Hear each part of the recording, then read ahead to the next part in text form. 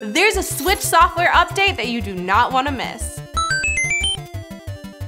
Welcome back friends to Super Switch Go! Just to start it off, I was right, I was right. They finally released when Super Nintendo World is going to open and not to toot toot toot my own horn, but it is exactly what I said. We also have some Kirby demo secrets as well as a new update that you want to make sure you have downloaded. All right guys, let's get started. It's me, and Nicole! We are filming this on Mario Day, which means I am committed to wearing this Mario mustache for as long as it stays on, which feels like is not going to be that long.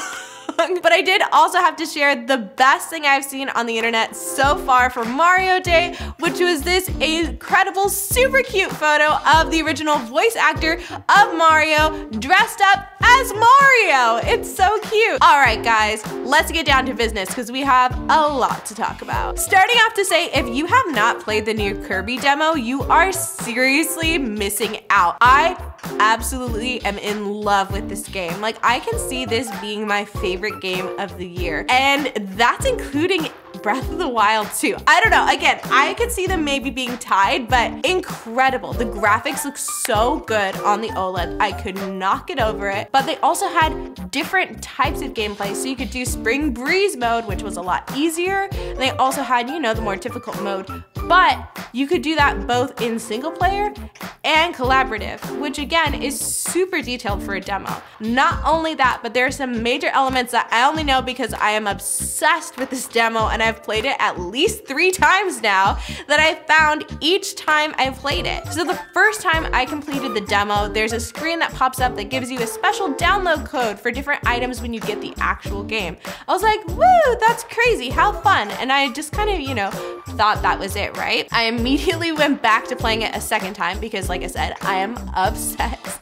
And I found out that your items and like your different like Kirby weapons, if you will, get stronger every time you play play the demo.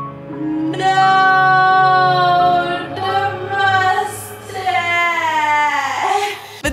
Stronger every time you play it. So you have ice powers just the first time around, they're like kind of weak, but the second time you play, they actually get stronger. And this is shown throughout the game. You can actually upgrade Kirby's abilities as well. And I thought that that was really fun that they did that in the demo.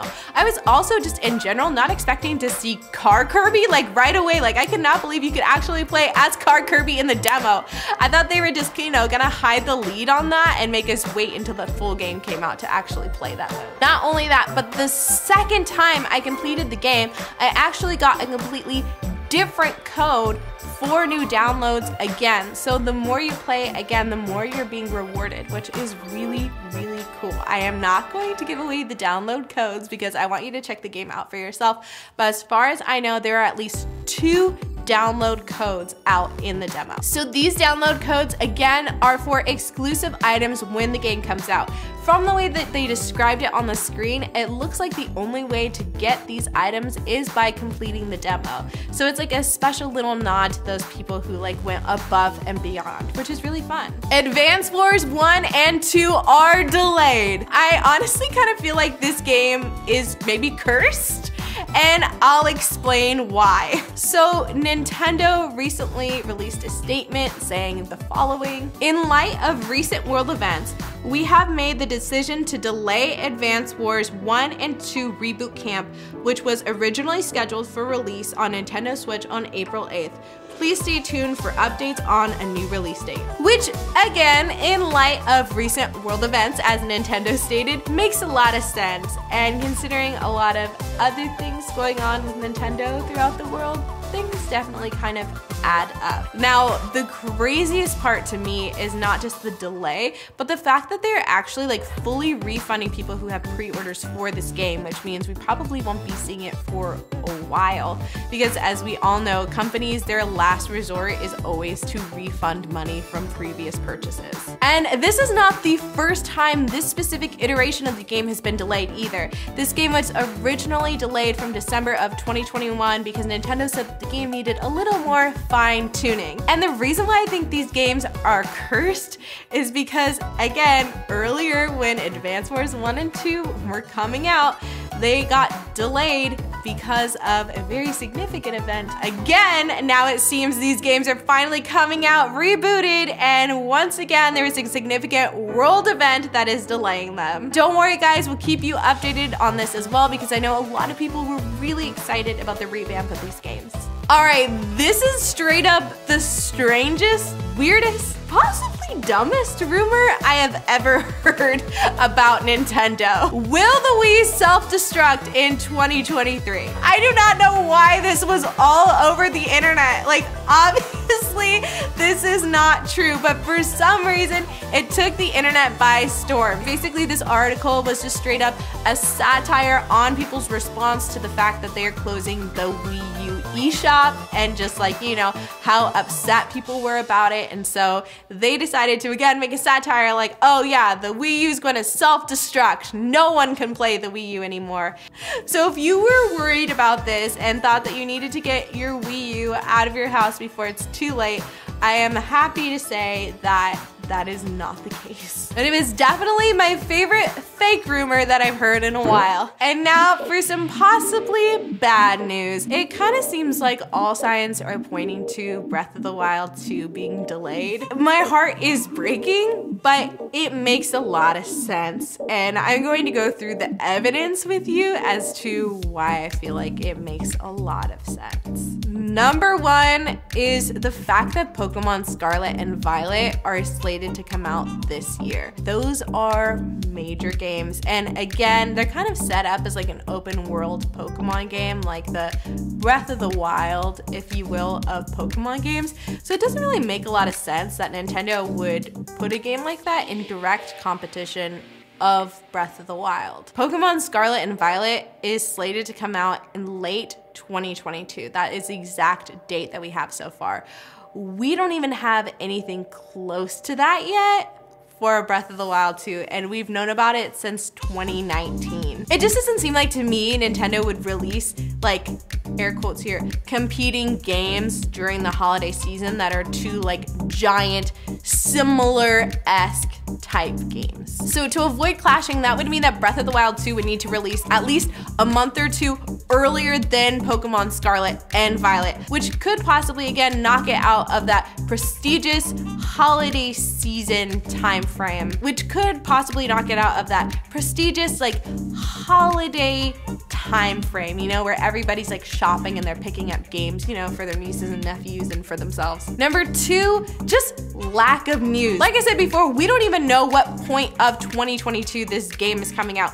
We don't even know the title. Like they haven't even given us straight up the title of this game. Like I said before, it had to release before so that it does not clash with Pokemon Scarlet and Violet you would again think we would be at least hearing an announcement from Nintendo or have significant leaks by now from Nintendo because people would have like actual solid details to be leaking. And who knows, maybe they just pull a Beyonce and they're like, surprise, Breath of the Wild 2 out tomorrow, which I would be ecstatic with. It's just Nintendo is not really like that as a company. And again, this is one of their best selling games like ever as a company. So I could see them wanting to put a lot of marketing materials behind it. And number three, now stick with me here because I'm gonna get really specific, but if you just add up all the games that are coming out this year in 2022, and it's a great thing, we have so many great games coming, there's just straight up no room in the calendar for Breath of the Wild 2. Xenoblade Chronicles 3 is set to come out in September. Pokemon Scarlet and Violet is supposed to come out late 2022, which again, we can expect November because that's that like prime window. We've still got Mario plus Rabbids Sparks of Hope coming out soon, not to mention the fact that Kirby and the Forgotten Land is coming out this month in March. So we've basically got spring covered, we've got summer from Splatoon 3 also covered, and now we've got fall covered. And it just doesn't seem, again, like there to be any space to give Breath of the Wild 2 its own moment between that. And truly, again, like if we're really getting down to the nitty gritty, pretty much just October or December, which again are kind of off months for games and does not make sense for a giant title release. I don't know, I feel like I've been holding out hope for a really long time because I really, really do want this game to come out. And I hope that I'm wrong, but I feel like if you just look at the facts, like it's not looking good. And who knows, maybe by the time it does come out, we'll finally have that elusive 4K gameplay to play it on. You definitely do not want to miss this Nintendo Switch Online software update. So they actually made the app so much better. There are some small changes, but I think the big thing for me is the friend code update. I'll explain why. So if you don't know, Nintendo actually has a separate mobile app that you can use with your Switch. So it's a lot easier for, say, if you're like chatting with other people so that way you don't have to like bring your Joy-Con cursor like over to each letter. You can just like type on your phone like a normal person. Even though it's still brought ease, there was still like a lot of like not so great things about it, if you will. One of the smallest things about this is that you can actually view online status from the app, which is like woo, fun, and you can change it. But again, the biggest thing for me is friend codes because I hate having to type out friend codes. They are so long, but now it's simplified. So now instead to share your friend code, you can actually just copy it from the app instead of having to send it out. Now your friend will still have to manually type it into their Switch, but at least there's less work for you. And that is progress.